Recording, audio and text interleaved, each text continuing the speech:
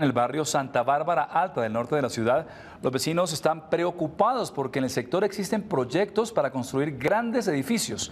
Hablamos con ellos. Los habitantes del barrio Santa Bárbara Alta de la ciudad de Bogotá se unieron desde hace un año con el fin de defender sus derechos ciudadanos y proteger sus viviendas, luego de conocer que en el sector se construirían cinco edificios de altura.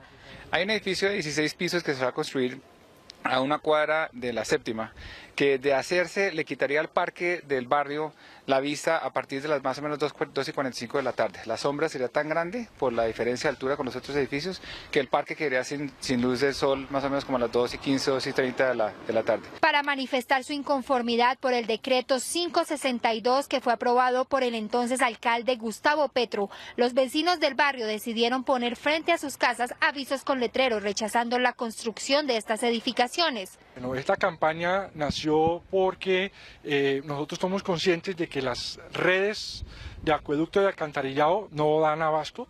Tenemos problemas hoy, como las casas como están en este momento. Eh, nos preocupa mucho el tema de movilidad.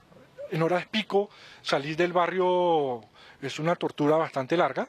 Los vecinos del barrio Quintas de Santa Bárbara celebran la decisión del alcalde Enrique Peñalosa de derogar este decreto, pero continuarán con la lucha para evitar que estos proyectos de construir grandes edificios en el sector prosperen.